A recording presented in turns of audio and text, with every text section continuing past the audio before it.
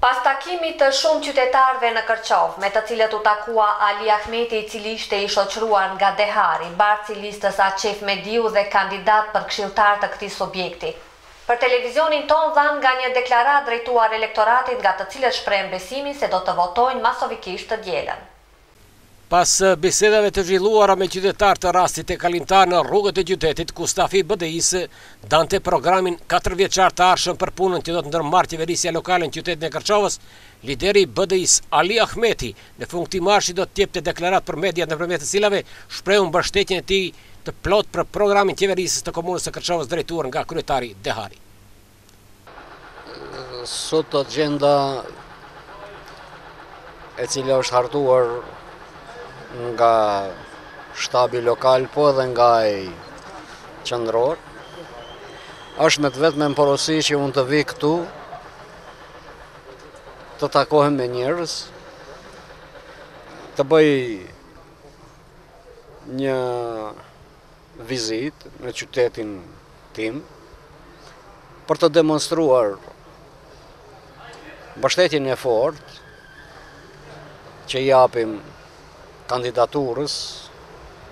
së Fatmir Deharit për vazhdim të mandatit japim mbështetje të fortë nga të gjitha institucionet politike, si dhe ato ekzekutive dhe ligjvënëse, në mandatin e ardhshëm, edhe ma tej të realizojë projektet, obligimet që dalin nga vetë programi të cilin e ka paraqit përpara qytetarëve këtu të komunës së Kërçovës. Dhe unë jam shumë i sigurt dhe apeloj tek të gjithë se nuk do të zhgënjehen. Fatmiri me të gjithë përgatitje që ka, atë program dhe ato premtime do t'i bëjë realitet. Në këtë takim me qytetarë i pranishëm ishte edhe kandidati shqiptar për kryetar të komunës Kërçovës, Fatmir Dehari, i cili gjithashtu u prononcua për mediat, nëpërmjet të cilave shprehu vullnetin e tij se si në katër vitet e kaluara edhe në mandatin e dytë qeverisës do të vazhdojë me të njëjtin ritëm për të arritur rezultate në shërbim të qytetarëve. Mua më mbetet në këtë rast të falënderoj kryetarin për vazhdimësinë e tij për të na mbështetur në punën tonë sidomos në terren. Pra nëse shpesh e kam përmendur terrenin si një nga mënyrat më të mira për të parë në fakt kërkesat e qytetarëve, Pra, e theksoj sot, e ritheksoj edhe një herë që është një mënyrë që unë e kam trashëguar nga puna e kryetarit në veprimtarinë e tij, edhe të mëhershme, por edhe këtë decenive të fundit. Dhe sot ne po ashtu jemi në terren, edhe një herë afër qytetarit për ta ndëgjuar, për të komunikuar në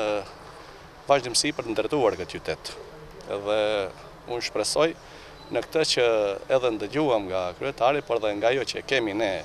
deri tani më si fakt dhe argument përpara qytetarëve, punën tonë, realizimin e projekteve tona, të vazhdojmë më tutje atë program të cilin e kemi paraqitur më tani